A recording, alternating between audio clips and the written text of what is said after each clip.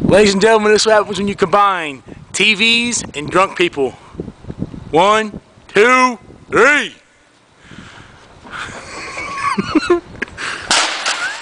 that sucks.